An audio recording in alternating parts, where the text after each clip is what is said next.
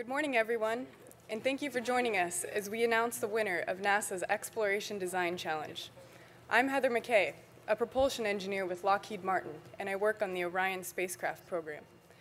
Looking at these bright young students here today, it reminds me of the moment I was inspired to become an engineer.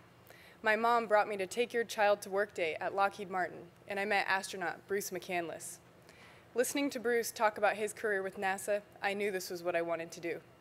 STEM events like this festival and the Exploration Design Challenge inspired me to pursue a career in engineering. And I hope this experience has inspired all of you and students across the country to do the same. We're fortunate to be joined today by some of the nation's top aerospace experts who have inspired many throughout their careers. NASA Administrator Charles Bolden, Marillyn Hewson, Lockheed Martin's President, Chairman, and CEO, Mark Geyer, NASA's Orion Program Manager, and Rex Walheim, NASA astronaut for the Orion program. These leaders are here to honor the five finalist teams in the Exploration Design Challenge, a nationwide science, technology, engineering, and math competition. These talented, creative students have worked hard to develop a design for keeping astronauts safe from the dangers of deep space radiation. Over the last several weeks, NASA has put each of these designs to the test, measuring how well each one performs in shielding against radiation. Today, we'll unveil the winning team, whose design will fly and launch into space on Orion's first test flight in December. Congratulations to all of our finalist teams, and good luck to you in the future. It's my honor to introduce four-time spaceflight veteran and NASA Administrator, Charles Bolden.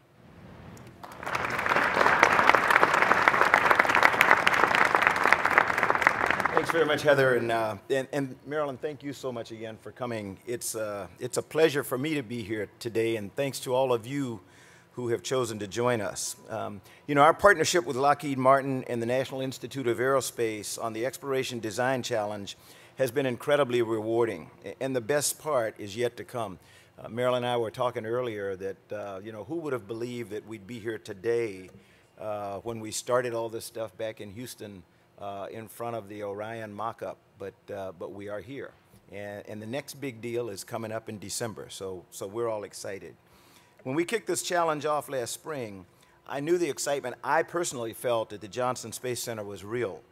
But I had no idea the depth and enthusiasm of the responses we'd receive. And I think every time I checked in to see what was going on, I was amazed at the number of students um, who were beginning to, to reply. Uh, within weeks, we had, I think it was 35,000 students who had already come in, and, and that, that so greatly exceeded any expectation that I personally had, but uh, it has been great.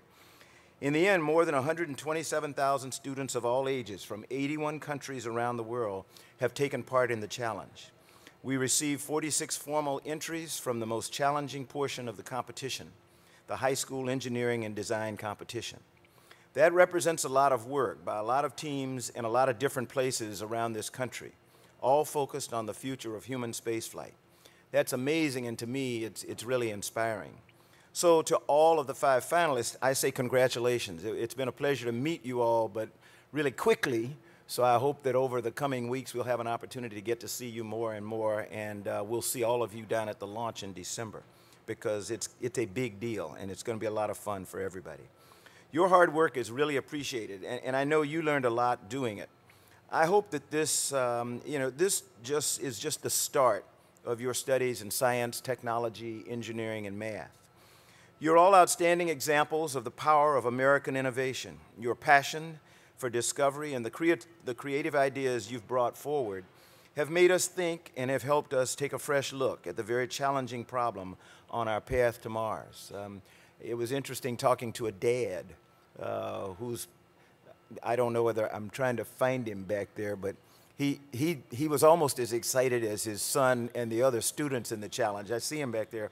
And, and we have some, own, some of our own ideas, so we may, we may challenge some of you teams here as we go along. Um, you know, what's unique about this challenge is that the winning team's design will actually fly on Orion's first flight test in December. Your work will be soaring through the Van Allen radiation belts on the first spacecraft built for humans to travel that far in more than 40 years. NASA always learns from every single flight. So we'll use the data we gather to move to the next stage of our work to send humans farther into space. Our finalists were announced in March, and I'd like to recognize the final five uh, now. Team Titan, Shielding Systems from Illinois Math and Science Academy in Aurora, Illinois. And you all can raise your hands or stand up or whatever the appropriate thing is to do.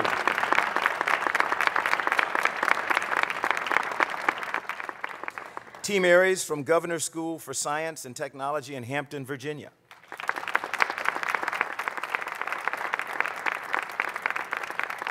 And I'm going to get in trouble with this next team because I'm, I'm sort of a naval person as a Marine, and I think you may pronounce it different. You know, we've got Aegis cruisers, but I think you pronounce your name, is you pronounce it Aegis? See, I knew I'd get it wrong. Uh, so Team Aegis from Herriman High School in Herriman, Utah.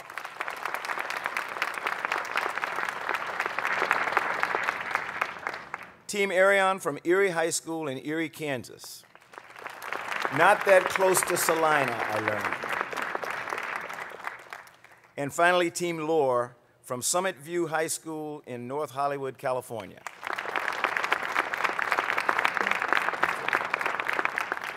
And I don't know whether you stand up again and then turn around and tell me if you can see the the uh, the you. That's you're the one I wanted to stand up. Anyway, turn around there.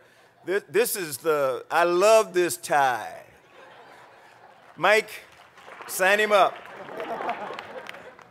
he's a Mike Hawes lookalike from the, from the, from the chin down, okay? Well, just in here. I know. Our goal with EDC is to ignite the imagination of students about the possibilities of space exploration. This challenge was tough, and so is exploring space. But great achievements come from taking, our, taking on great challenges. All of you students represent the next generation of scientists, engineers, and explorers. NASA is committed to providing STEM opportunities now that will help you to make valuable contributions to this nation in the future. One of you could indeed serve as a mission to Orion, on a mission to Orion yourself, uh, or in any of the many other paths our STEM can take you that uncovers knowledge and helps us reach higher. As I said, NASA is on a path to Mars that involves our commercial partners taking over access to low Earth orbit for cargo and, and soon crew extending the International Space Station until at least 2024 to help us learn more about living and working in space for the long term and demonstrating new technologies and providing uh, and proving new technologies such as the radiation shielding we're talking about today in deep space. As we capture an asteroid, bring it closer to Earth, and then send astronauts to visit it. And finally, we head to Mars in the 2030s. All of you have helped us move down this path a little bit farther. I hope you'll join us for the rest of the journey, and I look forward to where we go from here. Congratulations again. Now, it's my honor to welcome Lockheed Martin Chairman, President, and CEO Marillyn Hewson to speak. Thank you.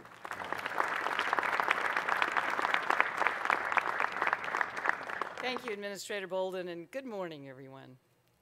Let me begin by offering my congratulations to all of the finalist teams. Each of you should be very proud of your achievement.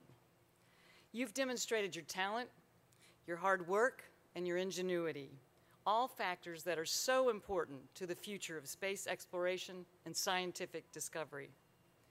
Someday, we'll send astronauts beyond Earth's orbit to explore asteroids and even plant an American flag on Mars. And you could be the ones to make it happen. Just think about that. This nation has been shaped by moments of great technological achievement, and each of you has an opportunity to help make that next achievement happen. At Lockheed Martin, we believe it's our job to make those moments possible and to inspire future innovators like yourselves to reach for the stars. That starts by investing in science, technology, engineering, and math education so students can pursue STEM careers. This nation is running dangerously short on engineering talent we need for tomorrow. In fact, studies show that we're facing a potential shortfall of 1 million STEM professionals in the next decade. If we want to lead tomorrow's moments of achievement, we need to invest in the new pioneers today. So that's why we're so proud to partner with NASA and the National Institute of Aerospace on programs like the Exploration Design Challenge. The Exploration Design Challenge has already reached 127,000 students worldwide, engaging them in real-world engineering challenges and igniting their imaginations about the endless possibilities of space discovery. And what better place to announce the winner of the challenge than right here at the USA Science and Engineering Festival. Among the bright minds that will join us here this weekend are the pioneers that will drive breakthroughs in clean energy, revolutionize global communications, and unlock the secrets of the universe. If we can set those young people on the right course and inspire them to pursue careers in STEM, then we've made great progress in securing our nation's future and ensuring that the United States continues to lead in innovation and discovery. Again, on behalf of the 113,000 men and women of Lockheed Martin, congratulations to the finalist teams here today. When Orion launches for the first time later this year, each of you can watch with pride and know that you played a role. You've already achieved so much, and I can't wait to see what you'll do next.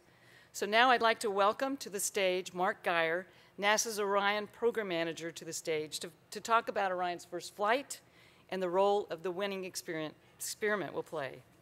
Mark?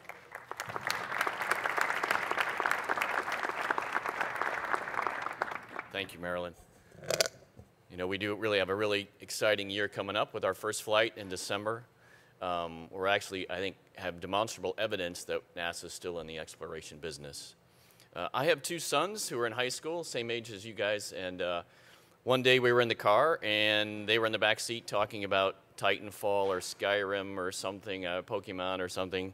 And suddenly my son says, Dad, do you ever stop and think about how cool it is that you are working on a spacecraft that's going to take people to other planets. Um, of course, I know that. Uh, in my head, I know that, but the way he got to the core point, I think that's something that you young people do. You really get to the, the main point and remind us that, yes, there's a lot of interesting stuff, but fundamentally, this is really, really cool stuff. Um, the other thing I know from working with uh, people your age is you have a lot of energy, and you also question assumptions very well, right? Why are we doing things the way we've done them in the past? And both of those are very important for innovation, and innovation is key to NASA succeeding as well as the country in general. Very, very important uh, qualities.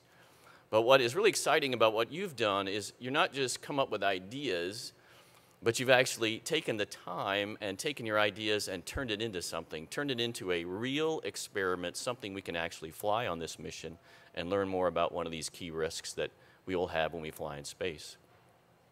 And I know high school students are busy homework, other activities, chores maybe, uh, maybe taking care of someone in your household, uh, maybe you have a job. So it's a ton of things going on. And in spite of all of that, you spent the time to make that happen. So I think the combination of ideas and also execution is a huge skill. Uh, and it will lead you to great things. So I want to thank you for all your great work, and, and it's exciting to have you here today. Uh, next, I would like to welcome Rex Walheim. He's, uh, of course, Rex is an astronaut, so he gets to wear the suit. Um, but he's also a great guy. He's also the crew representative on Orion, so he's there when we make our big design decisions, so he's weighing in on those every day. He's logged over 566 hours in space and over 36 hours of uh, spacewalk time. Rex?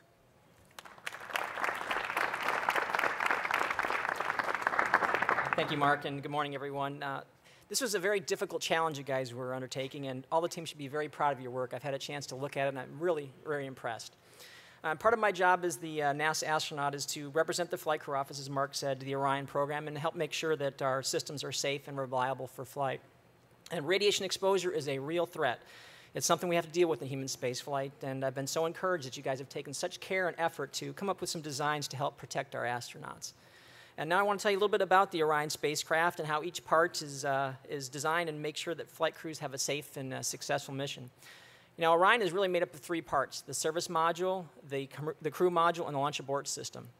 The crew module is our living quarters. It's about the size of a master bathroom in a house, so it's not very big, so you gotta like your crewmates because you're gonna be stuck with them in pretty close confinement for a couple of weeks, maybe even months. And uh, the service module sits below the crew module, and it has the propulsion, the power, and the life support systems uh, of the vehicle. Now, the launch abort system is a safety system. A, it sits on top of the Orion crew module, and its purpose is to propel the crew module away from the vehicle and, and safely in case there's an event of an emergency on the launch pad or uh, and during the initial ascent. Exploration Flight Test 1 is a very exciting mission. We're all looking, really looking forward to it. It's important for NASA, and we're honored to have all of you as part of our virtual crew on this flight test. And now, I think we're ready to have Administrator Bolden and Ms. Hewson come up and announce our winning team.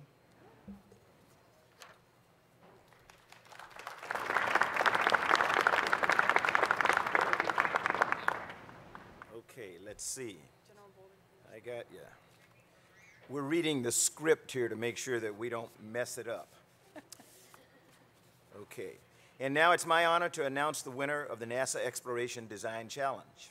And I just want to say that all of the team should be very proud of your hard work and your creativity. You've already achieved so much, and we look forward to a bright future for all of you. After a thorough set of tests by our engineers, we've determined the design that performed the best. And now, aha, and now will be built to fly aboard Orion's flight test in December. And the winner is, the winner is Team ARES from the Governor's School for Science and Technology, Hampton, Virginia. And, uh,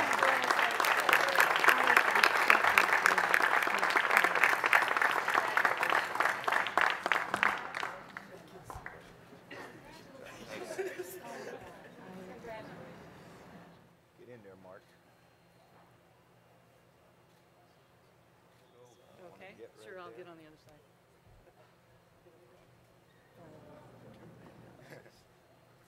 Can you, can make it? Get in there, Mark.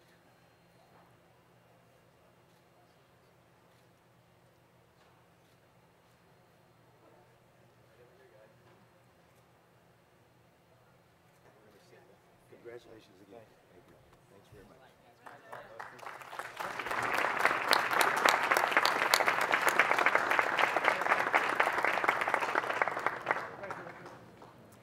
Thank you all for attending today, and congratulations to all five of our finalist teams.